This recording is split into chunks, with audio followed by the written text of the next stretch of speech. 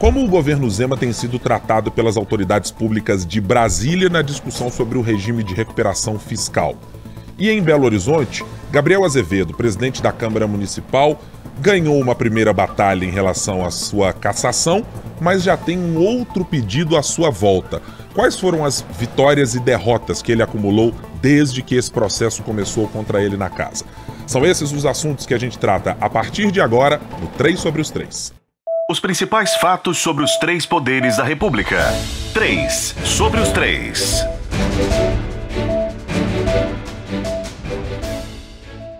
Olá, tudo bem? Seja muito bem-vinda, seja muito bem-vindo ao nosso podcast. Você que já é assíduo, sabe que semanalmente estamos por aqui para discutir as principais notícias do noticiário nacional e também do noticiário local, aquilo que faz diferença nos três poderes, no executivo, no legislativo e no judiciário. E claro, os personagens mineiros ou não que fazem parte dessa história diária que a gente conta nos produtos aqui da Sempre Editora. Marina Schettini está aqui comigo neste dia de hoje, na minha volta ao podcast, depois de um curtíssimo período de férias. Marina, nossa editora de política do jornal Tempo, que bom vê-la de novo. Fazia tempo que eu não via você, Marina. Tudo bem? Muito tempo, eu tô ótima. Você deve estar melhor ainda que eu, né? Porque haja tempo de férias. Eu nunca vi um trem desse assim fora do judiciário, eu nunca Olha, vi. Isso é uma ilação. Foram pouquíssimos dias. O problema é que quem está aqui trabalhando tem a impressão de que o Aham. tempo tem um, espaço maior, de que são muitos dias. Nada disso. Foram logo rapidinho, Nós- 15 é dias. fácil medir, é só pegar o número de podcasts que o senhor faltou para ver aí que vai dar tipo dois meses. É, vamos partir para Então um vamos, outro vamos assunto, ver a né? A Fran, gente tem então outros temas, etc. É. É, Francine Ferreira, que está diretamente de Brasília conosco. Você vê que eu tô tão bem que eu já estava até esquecendo o sobrenome da Fran. Ô, ô, Francine, como vai? Tudo bem? Fazia tempo que eu não lhe via também. Olha, a voz toda mansa, né, Marina? Querendo já angariar a base aí. Mas a gente não esquece, não, tá? Não esquece abandono. o tempo que você ficou fora, não. Sou canceriana, eu, eu- eu sou ressentida. Entendeu? É, eu, eu vejo que o clima tá, tá um pouco hostil nesse meu retorno. assim, eu- aos poucos a gente vai diminuir isso, porque afinal de contas, é, clima hostil acontece na política algumas vezes, as pessoas nem sempre estão ali tão amistosas nas discussões. Como, aliás, está acontecendo no nosso primeiro tema de discussão hoje do podcast. A gente vai falar sobre como, sob o olhar de Francine Ferreira e Brasília, o governador Romeu Zema e todos aqueles que estão no seu entorno discutindo o regime de recuperação fiscal, como eles estão sendo tratados em Brasília? É a pão de ló? É com cafezinho e pão de queijo? Ou as coisas estão um pouquinho mais árduas? Tem pão dormido? O café não está exatamente quente? Fran, vamos conversar por você então, para dar uma espécie de panorama do que foram esses últimos dias. A gente está gravando o nosso podcast nesta quinta-feira e é um dia que teve a manhã absolutamente movimentada para construir exatamente esse nosso primeiro tema. O governador não está em Brasília, mas foi tema na boca do ministro da Fazenda, Fernando Haddad, do ministro de Minas e Energia, Alexandre Silveira, e também do presidente do Congresso, o senador Rodrigo Pacheco. As coisas andam boas para o governo de Minas por aí? Não tem café, não tem pão dormido, não, não tem nem água aqui pra ele, viu? O Ibrahim, é, vocês também puderam acompanhar mais cedo, né, a fala do Haddad, o ministro da Fazenda que não foi na reunião do Mercosul, né, no Rio de Janeiro aí, e numa reunião importantíssima porque o Brasil tá deixando aí a liderança do grupo, né, passando para o Paraguai para tratar no Congresso Nacional sobre pautas econômicas. Mas hoje, que seria o dia mais importante no Mercosul, ele também ficou em Brasília para tratar sobre a dívida de Minas com o presidente do Senado, Rodrigo Pacheco. E depois desse encontro que durou ali cerca de duas horas, lembrando também que Pacheco e Haddad já estavam juntos antes na viagem é, durante aí a COP, né, a conferência aí da Organização das Nações Unidas, para tratar sobre o clima, né? Mas eles se reuniram aqui hoje para falar sobre a dívida. E depois desse encontro, o Haddad falou com a imprensa e olha, não faltaram críticas ao Romeu Zema. É, vocês podem até me ajudar a lembrar algumas delas, tá? Porque foi. É, o governador tem que parar de fazer graça nas redes sociais e na imprensa, falando mal do Lula, falando mal do Pacheco, falando mal do Ministério da Fazenda. Que o governador é, fez foi um desaforo com o Ministério da Fazenda, que já passou as eleições, que não é momento mais de falar sobre questões ideológicas, mas sim hora de sentar na mesa com os técnicos e resolver. E ainda falou que o Zema nunca sentou com ele para conversar, só uma vez para cobrar uma questão de uma referente aí a imposto de combustíveis que já que era referente ao outro governo e que só recebeu de Zema até agora críticas e que quando estende a mão entre aspas para tentar ajudar o que veio aí foram, foram desaforos. Assim, esses são alguns, né? O Haddad falou por cerca de 10 minutos, então é, e a maioria das falas foram críticas direcionadas além, é claro, dele dizer que agora o governo federal, né, por meio da Advocacia Geral da União, vai ao STF pedir aí a suspensão, né? É, a suspensão não, a prorrogação desse prazo de suspensão do pagamento da dívida. Lembrando que Romeu Zema, sem o Ministério da Fazenda, já tinha entrado no STF. E tudo isso, né, a gente, se a gente for olhar tem dois panos de fundos, né? Um, a questão eleitoral 2026, pensando até mesmo numa possível aliança entre PSD e PT, né?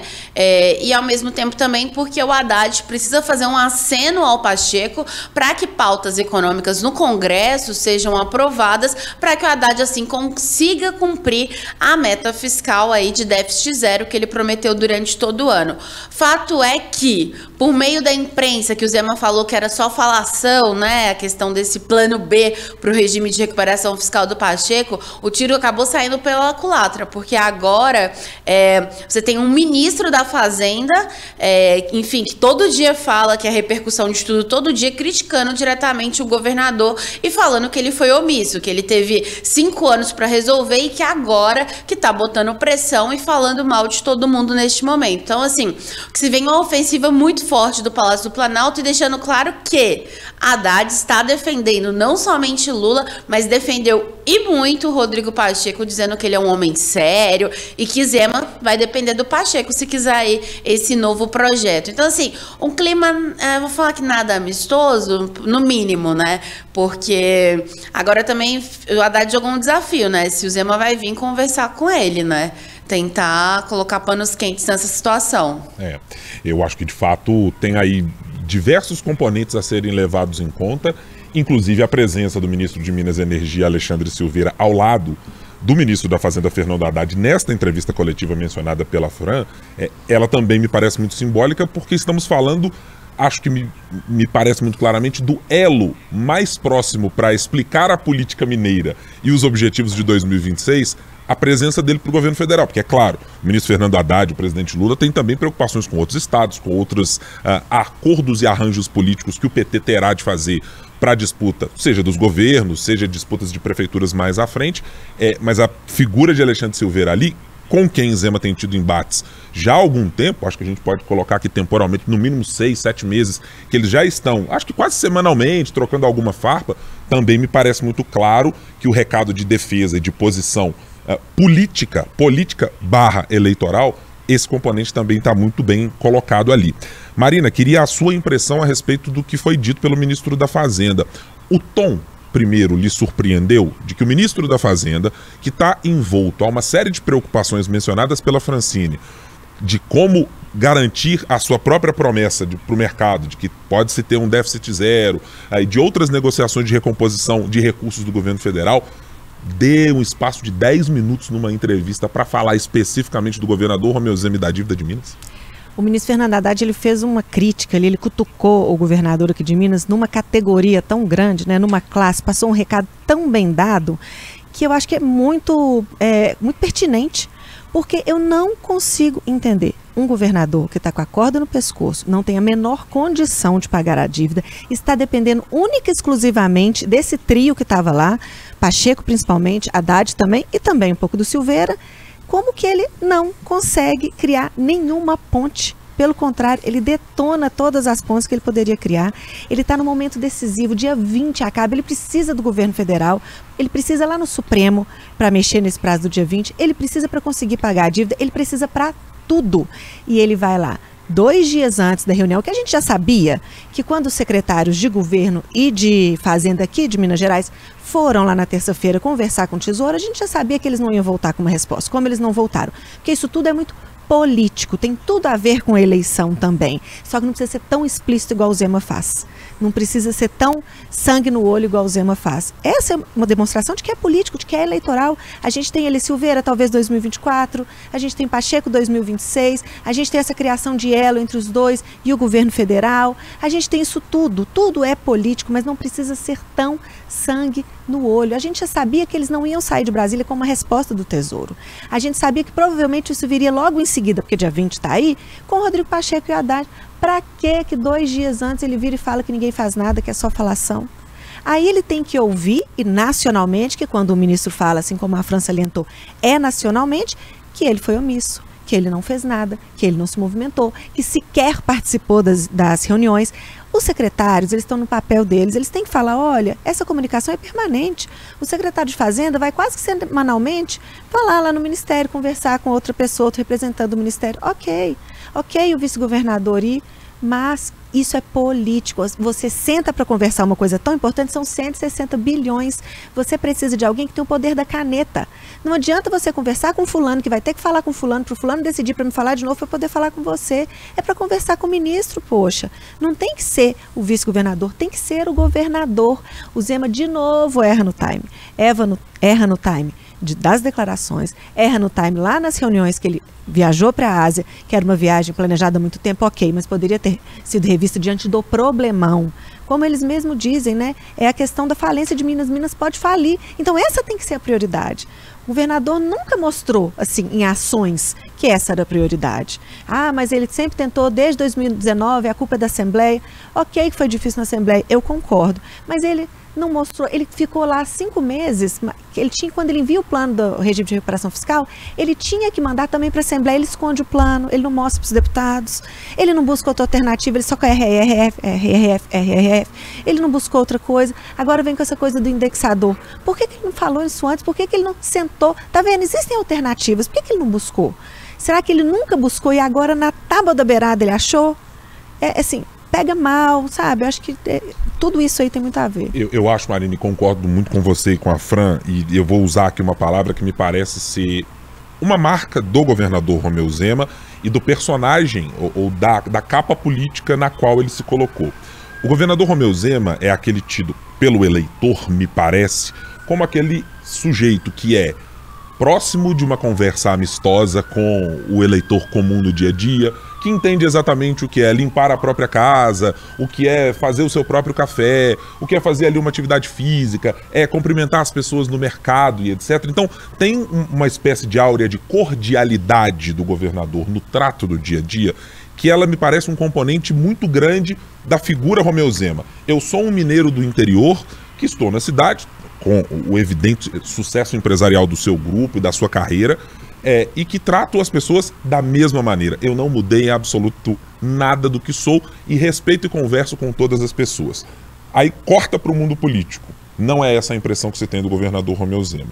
Você pode ouvir isso, talvez da base aliada, e agora já há algum tempo na Assembleia você já não ouve exatamente isso. O governador que recebia as pessoas no começo do ano, pessoalmente, com as bancadas, para aquela conversa, numa tentativa de mudar o cenário do do que foi a gestão Zema 1 na relação com a Assembleia, esse governador parece, e eu vou usar de fato uma expressão que foi aqui é, cunhada por Rodrigo Pacheco no dia de hoje, que é parece não ter descido do palanque. Porque do momento zero ou do minuto um da sua nova gestão, sabedor, e espero que sabedor do tamanho do problema que estava à sua frente, com o regime de recuperação fiscal, não parece ter movido uma palha para se colocar ele pessoalmente como articulador político e dizendo: olha, eu mesmo estou dizendo aqui que a, a, as vestes da eleição saíram e agora o Romeu Zema vai arregaçar as mangas e colocar o projeto político à frente. Mas acho que isso ficou, repito, terceirizado para o vice-governador Matheus Simões. As articulações políticas e de tentativa de solução, e eu vou lembrar aqui de uma das questões que foram colocadas logo no começo da gestão Zema, e que foram feitas exatamente pelo vice-governador. Vocês vão se lembrar, quando o vice-presidente Geraldo Alckmin estava uh, acho que numa viagem do presidente Lula de férias, houve ali um pedido para que os estados apresentassem quais eram as suas demandas principais, para dizer, olha, o que, que tem aí de necessário de recurso do governo federal. Nós mencionamos, por exemplo, o metrô, nós mencionamos BR-381 a ser duplicada, com um novo edital e etc. E outras necessidades. E eu me lembro que a cabeça, o corpo e, e a imagem que se teve daqueles pedidos foram de Matheus Simões e do secretário da Casa Civil, Marcelo Aro, que foram os dois que disseram, ó, esses aqui são os problemas de Minas. Eu não consigo imaginar que não tenha sido o governador de Minas a ser este rosto. Mas, de fato, só reforça a ideia de que o governador terceiriza uma parte do fazer político de ser um governador para o vice-governador Matheus Simões e os outros atores que ali estão. E os recados dados, me parecem, por Rodrigo Pacheco e pelo ministro Fernando Haddad, e acho que até pelo presidente Lula em outro momento, é o seguinte: governador, se o senhor não sentar à mesa para colher os ônus e os bônus, ou para propor algo, nós faremos e o senhor será apenas aquele que vai colher o ônus. Porque Rodrigo Pacheco mencionou hoje, nominalmente, vou conversar com o ministro do Supremo Tribunal Federal Vou conversar com o ministro da Advocacia Geral da União. Vamos nos juntar com o ministro da Fazenda. Simbolicamente, está tudo colocado, mostrando que o governador de Minas Gerais não tem atuado politicamente, e todos que estão nessa seara querem colher os frutos porque tem pretensões eleitorais para o futuro. O governador não participar desse processo agora está deixando estampado que o governador, de duas uma, ou de fato não gosta desse tipo de articulação e acha que ela é infrutífera ou que ele não é capaz de extrair nada de positivo dela, ou que Matheus Simões será única e exclusivamente essa figura. Mas me parece que não tem a ver com a capacidade do vice-governador Matheus Simões. Tem a ver com os ritos da política. O presidente do Congresso Nacional, o ministro da Fazenda, quer sentar olho no olho com o governador de estado. Se o governador não se faz presente, esse vácuo está sendo completado por pessoas que podem ser rivais políticos dele no futuro.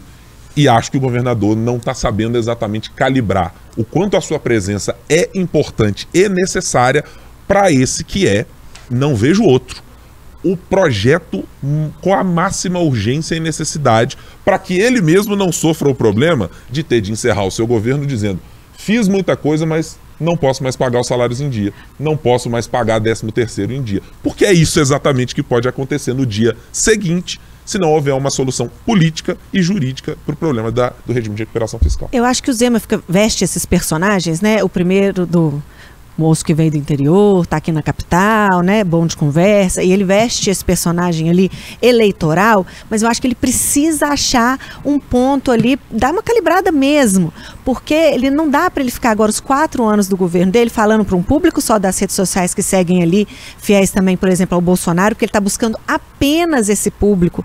Não vai dar certo. Quando você cita o governador, você citou o Pacheco, né? ele não conversa com ninguém do Supremo, ele não conversa com ninguém do governo, ele não conversa com ninguém de com quem que ele conversa?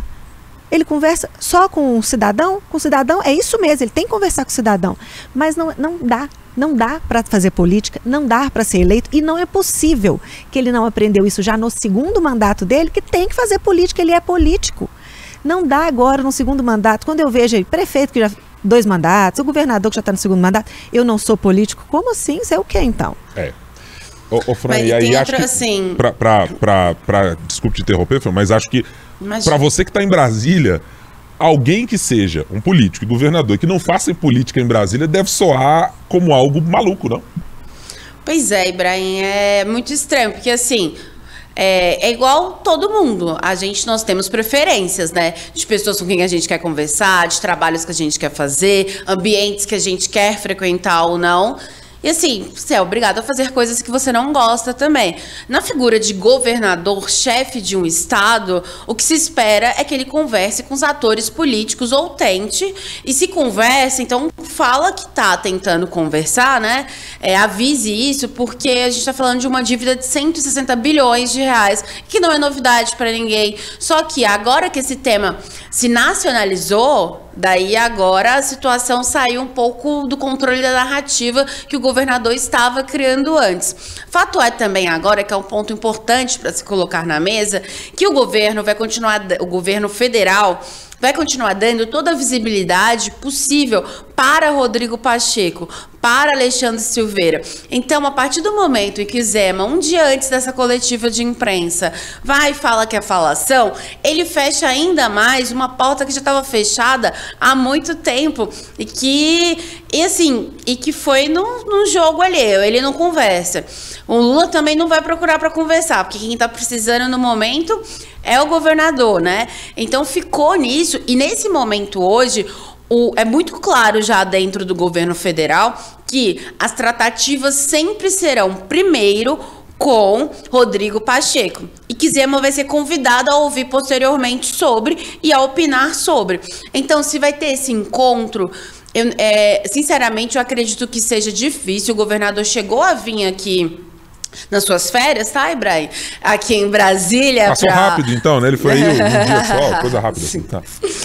Para falar com Lula numa agenda que, enfim, tinha uma agenda ali que tinha no meio do caminho. Obviamente, o Lula não recebeu, quem recebeu foi o Rio Costa, justamente porque o acordo entre Pacheco e Lula é de que vai ter uma priorização aí da prota pro protagonismo em relação ao Pacheco. Então vai ficar isso. E vai ficar, se quiser falar de um lado, vai falar, o outro vai falar de um outro. Mas a questão é, agora no STF, qual que é a ação que realmente vai valer? É, obviamente que a gente sabe da força da AGE, mas também tem uma força muito grande quando você coloca o, o advogado-geral da União no meio desse imbróglio todo. Então, assim, fecha mais as portas e o Zema, que não estava convidado a sentar na mesa, agora que não, que não vai ficar nem em pé vendo, né? É, eu acho que é um cálculo político muito, muito, muito arriscado, porque se fosse meramente uma conta eleitoral, de dizer eu já estou me colocando como um adversário para 2026, mas isso não impacta nada no meu dia a dia operacional como governador, é uma coisa. Eu até admitiria e acho que faz sentido se você dizer, ó, eu vou ser candidato à presidência da República, eu vou tratá-los como rivais, mas eu não tenho nenhuma dependência deles. Não é o caso de Romeu Zema. Este em específico, um problema que tiver e não conseguir uma solução fiscal impacta diretamente no que eleitoralmente ele poderá entregar se eventualmente vier a ser um candidato à presidência da República, enfrentando alguém deste grupo que hoje ocupa o, Palácio do Planalto. É, é, de fato assim, chega a ser um pouco estarrecedor imaginar, e acho que é muito do resumo do que a Marina falou no primeiro comentário dela. É, a gente se assusta ao pensar que você tem que negociar com o banco. Ninguém gosta de negociar com o banco, né? Você gostaria de não precisar ir ao banco. Mas você tem que chegar lá, falar com o gerente assim: olha, não cabe mais a dívida, dá para baixar os juros, etc. O banco vai dizer: olha, se você não vier aqui, eu continuo te cobrando e vida que segue. Realmente é muito curioso esse cenário é, que o governador parece que colocou para si mesmo da maneira que se posicionou até agora. Vamos tratar agora do nosso noticiário local, afinal de contas, tivemos uma decisão importante no início desta semana, com o presidente da Câmara, Gabriel Azevedo, conseguindo se livrar do primeiro pedido de cassação, aquele feito pela deputada federal Nelly Aquino, e que levava em conta a quebra de decoro do uh, vereador em função dos episódios com a vereadora Flávia Borges, também com integrantes da bancada do PDT na Câmara Municipal. Bom, nem meio houve tempo para comemorar é, a absolvição, digamos assim. No fim das contas, já um segundo processo aberto pelo vereador, a pedido do vereador Miltinho CGE chegou agora, me parece, com uma comissão processante que é menos hostil ao vereador Gabriel Azevedo a olhar de cara, até pelo posicionamento do presidente dessa comissão, o vereador Álvaro Damião, que já se absteve na votação de primeira, primeiro pedido de cassação. Marina, lendo o que aconteceu com Gabriel Azevedo nesta semana, lhe parece que ele acumulou uma vitória política de fato de se livrar do primeiro pedido de cassação? Se livrando desse primeiro pedido de cassação, eu acho sim que o presidente da Câmara, o Gabriel Azevedo, teve uma vitória. Ele sai maior, ele sai fortalecido. Por que, que ele saiu fortalecido? Por que, que ele não foi caçado? Porque o Aro, que é hoje o principal inimigo dele, é inimigo, não é adversário, é inimigo mesmo, ficou ali três meses tentando fazer um, uma discórdia ali no grupo do Gabriel, quebrar aquele vínculo deles, para achar dois traidores ali, para ele conseguir os 28 votos que ele precisava para poder caçar o Gabriel. Ele não conseguiu. Ele ficou três meses tentando, não teve sucesso, chegou num ponto de que era mais fácil, era melhor, era menos prejudicial deixar o prazo vencer do que votar e perder, porque ele ia perder. Então o Gabriel sai maior, a gente já vê uma mudança de comportamento, ele que passou aí os três meses dessa comissão processante e da votação de cassação mais quieto, menos brigão, fazendo a terapia lá que ele gosta de falar, né? Com um comportamento completamente diferente. No dia que ele se livra do processo de cassação, ele já muda o discurso. Ele já chama o Fuad de agente oculto, ele já diz, ó, se for para sentar para conversar, prefeito, o Aro está fora. Não quero conversar com o Aro. Então ele já se fortalece para aquilo. E é muito ruim para o prefeito também. O prefeito também sai um pouco derrotado dessa história. Porque enquanto estava nesse processo, enquanto a briga estava ali no ar, enquanto o Gabriel, vamos dizer, estava ali mais acuado, porque estava qualquer passo e falso ali podia prejudicá-lo, o prefeito estava muito tranquilo sem aquela oposição tão barulhenta que o incomoda tanto. Agora isso pode voltar. Ah, mas agora tem um novo processo do Miltinho CGE. Tem. O que a gente já sabe é que o Aro e o grupo dele vai continuar centrando fogo no Gabriel. Isso não acabou. A gente já mostrou isso com vários exemplos. Ele já tem um outro pedido de cassação. Ele vai tentar fazer com que a Câmara não consiga colocar a agenda do Gabriel para frente, porque isso pode ser vitrine para o Gabriel em 2024. E ele pensa muito nisso. Então, com certeza vai seguir. Resta saber agora se esse pedido do Miltinho CGE vai para frente. Como você falou aí, a comissão processante não é tão hostil como a antes. A primeira a gente tinha a mãe do Marcelo Aro na presidência, né? Isso é um negócio assim que é, é difícil. É, é, mais do que simbólico. É, né? bem mais, né? É praticamente estampado assim o que, que ia acontecer. Não tinha dúvida, podia ter feito o relatório. O relatório já devia estar pronto da comissão processante no dia que foi foram os membros ali, os integrantes foram escolhidos. Então tá numa fase boa para o Gabriel, ele já sabe que ele vai precisar ficar ali, que eles vão tentar sangrá-lo até o final. Mas uma coisa só que eu queria destacar, que me chama muita atenção, como que é o poder de, de convencimento e a influência do Aro principalmente e da base ali do prefeito sobre os vereadores. Porque essa estratégia de um novo pedido de cassação do Miltinho CGE, eu acho que pode ser ruim para o Gabriel, mas é ruim demais também para o Miltinho CGE, porque era uma história que já estava esquecida, ninguém falava disso mais. Então ela é extremamente frágil na argumentação dela, então o objeto ali da cassação é extremamente frágil e coloca a luz toda nas suspeitas de irregularidade vindo do gabinete do Miltinho CGE. Eu não sei se ele não percebeu isso, eu não sei se ele não tem dimensão que isso ia acontecer, ou eu não sei se ele está tão na mão ali do aro, da base, que ele não teve alternativa. Eu acho que esses dois componentes, Marina, me dão a percepção de que foi de fato uma vitória para Gabriel Azevedo. Porque, primeiro, eu acho que ela encampa um discurso que o próprio Gabriel pôde experimentar quando reabriu a CPI da Pampulha, depois de ter sofrido a derrota, que foi um dos eh, objetos do seu primeiro pedido de cassação. Qual foi a impressão com que saímos quando, no dia seguinte, se eu não estiver enganado, houve a abertura do novo pedido de CPI, que depois foi negado, inclusive, pela Justiça, era que o governo, Fuad, ganhou o argumento de dizer Está vendo que é uma perseguição política? O vereador não concordou com o relatório e vai continuar fazendo, com o mesmo objeto apenas para nos desgastar. Qual é a percepção que eu saí do segundo pedido de cassação feito pelo vereador Milton do CGE? A mesma, a de que agora Gabriel Azevedo tem para poder dizer exatamente o mesmo argumento. Olha, tá vendo que não aceitaram o primeiro resultado, nem sequer colocaram para votar e agora colocaram uma nova denúncia, um novo pedido de cassação eu vou até tratar do ponto de vista do que me parece ser muito evidente. Os elementos que estavam na primeira denúncia, do ponto de vista estrito de é, jurídico-político, e não dá para separar as duas coisas no processo de pedido de cassação, para mim configuravam muito evidentemente a possibilidade que fosse cassado. Você ofender parlamentares da maneira como o vereador os ofendeu, Flávia Borja, uh, Wagner do PDT, Bruno Miranda e Milton CGE por tabela por serem do mesmo partido, é, de fato ensejava muito claramente uma possibilidade de cassação. Eu não sei exatamente quando olho para esta denúncia, olha, é calúnia, então por que não tem um processo, se é que tem? Eu estou falando aqui sem saber efetivamente se o vereador Milton entrou com um processo civil, por exemplo, para cobrar exatamente essa mesma postura que ele está cobrando do vereador e da Câmara Municipal. E me chama muita atenção também é a maneira que se posicionou a esquerda neste processo. Porque o vereador Gabriel Azevedo tem uma qualidade. Ele conversa. Você pode dizer se ele conversa muito, se ele conversa pouco, no tom correto ou incorreto. É, ele mesmo, às vezes, é, confidencia que tem dúvidas sobre como como deveria proceder e admite que às vezes se exacerba neste caso. É, mas me parece que conversando com as pessoas de esquerda, ou do grupo de parlamentares ali formado pela esquerda, de que isso eles não podem negar em relação ao vereador Gabriel Azevedo, mas que eles têm dúvidas severas sobre como seria uma gestão Juliano Lopes, um grupo do Marcelo Aro comandando a Câmara Municipal. Então, acho que é uma dúvida colocada e que retroalimenta os argumentos do vereador Gabriel para dizer: olha, vocês estão achando ruim comigo? Comigo vocês conversam. A porta está aberta, o celular eu atendo. Vocês acham que vão ter a mesma percepção? Ou isso vai acontecer se as coisas mudarem e o acordo feito por Gabriel e Marcelo Aro e o grupo político é, permitiu uma troca? Eu acho que isso não aconteceu. Mas eu saí ao mesmo tempo com a dúvida de, bom, a esquerda não concorda com uma coisa, mas acabou votando no segundo pedido de cassação. Então eu acho que até esse embaralhamento das posições políticas dentro da casa, repito, é uma vitória para o vereador Gabriel Azevedo, porque ela dificulta ainda mais a possibilidade de se formar uma base sólida que tenha a disposição clara de arrumar 28 votos, ou melhor, arrumar dois votos. Alguém que traia Gabriel Azevedo e mais um para completar a fatura com tranquilidade de uma cassação. Não vejo de fato isso acontecendo, Fran.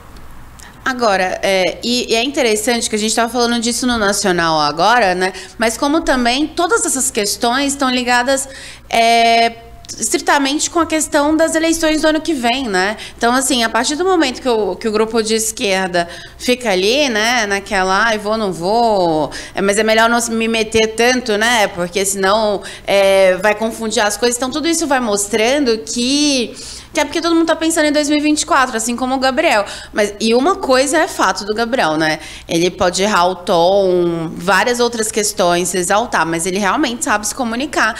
E ele também tá trabalhando ali pro ano que vem. Então, seja um. Seja aquela narrativa de perseguição que a gente já tinha falado aqui um pouco antes, seja uma é, uma narrativa de que, olha, esse pedido aqui não tem nada de, de concreto, né? De fato, então se trata de uma perseguição. Isso mostra também o quanto que a base não consegue. É, a, você não conseguir angariar dois votos, é, mesmo tendo uma coisinha. É porque, é porque tem coisa aí, né? Então, assim.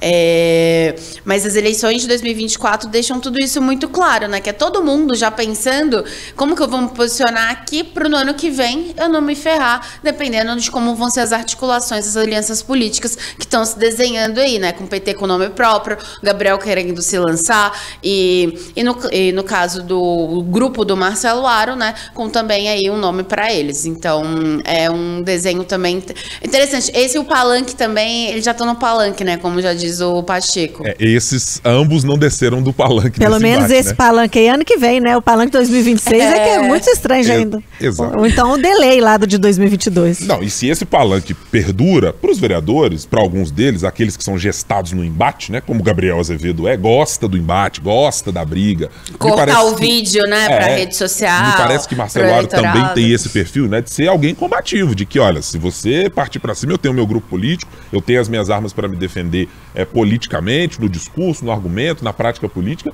Então, para ambos, me parece um lugar de certo conforto, de dizer, vamos brigar? Então vamos continuar brigando. Para a gente não tem problema algum. Mas acho que sempre tem alguém que sai perdendo nessa história.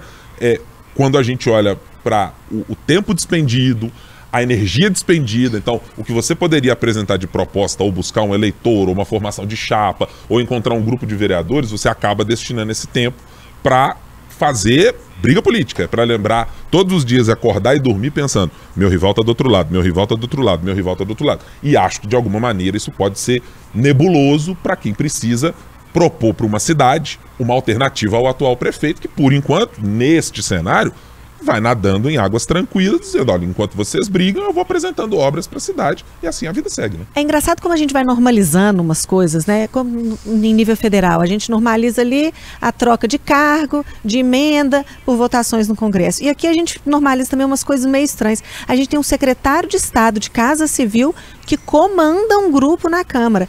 E eu acho que isso que a Fran falou, que os vereadores de esquerda ali estão começando a perceber ali, poxa, pelo menos com o Gabriel eu converso, eu vou ter ali um dono que não vai ser nem um vereador que vai agir de, de acordo com os interesses dele. Então eu acho que é tardio, mas eu acho que talvez seja bom para eles que eles comecem a fazer esse cálculo, perceber isso. É, é uma percepção que eu, com a qual eu concordo mesmo, Marina.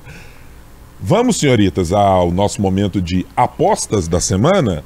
Ô, Francine, eu começarei por Vossa Senhoria, porque assim, Brasília tem pouco assunto, né? O governo de Minas nem está preocupado com coisas daí. O, o, o Poder Central nem está preocupado com o regime de recuperação fiscal e outras coisas. O Congresso também está super tranquilo. As contas já estão em dias bem fechadinhas para o ministro Fernando Haddad. Qual é a sua aposta para esta semana? Então, eu vou justamente aí pegando o gancho do Haddad, porque é uma expectativa, eu acho que de toda Brasília, porque envolve o governo federal, envolve também né, o legislativo, que é a aprovação dessas pautas econômicas no Congresso para garantir o déficit zero. Então, a gente tem o PL das apostas esportivas, que é bastante polêmico, mas tem aí uma, um valor né, de arrecadação gigantesco, que representaria muito para o Haddad também. A votação aí do veto né, do presidente Lula exoneração da folha. Tem outros projetos em paralelo. E eu vou me adiantar também, eu já vou fazer uma outra, porque uhum. é do legislativo, uhum. e quem não estava de férias tem Pode, pode fazer isso? Ah, teve é. isso. Ah, okay, teve. Okay, okay. A brecha no regimento. É, é, a brecha no regimento. Muito bem. Que é o seguinte, é, a sabatina, né? De Dino e de Gonê aí na semana que vem, é, contou esse placar se o governo vai ou não garantir 50 votos, porque nos bastidores os senadores falam, brincam, ah, o voto é secreto, né? Então, assim, vai ter gente que vai virar ali de última hora. É, então é interessante acompanhar isso, né? Um sorrisinho, né? De que vai ter a, mais coisas de bastidor.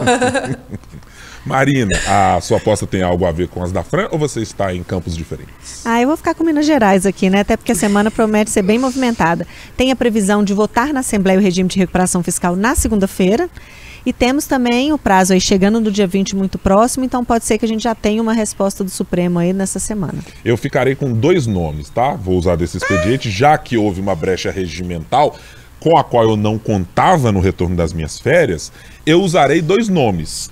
Romeu Zema Neto, este homem de 54 anos que governa o nosso estado, porque acho que ele vai continuar no olho do furacão enquanto não houver uma solução. Seja a decisão do Supremo de adiar uh, para em até 120 dias uh, a discussão sobre quando pagar, como aderir ou como fazer, mas acho que também Flávio Dino, na sabatina, tende a ser algo muito diferente do que vimos nas últimas indicações. Tem muita gente insatisfeita e doida para fazer corte de vídeo nesses dias especificamente. E acho que até o simbolismo do que pode ser os números de votos de Paulo Bonet na sua indicação e os números de indicação de Flávio Dino vão ainda acirrar um pouco mais essa percepção de que o STF e o Congresso precisarão se manter no embate, porque está chegando mais um para ser contrário ao bolsonarismo ou coisas dessa natureza. Então, acho que esses dois nomes eu apostaria para a próxima semana.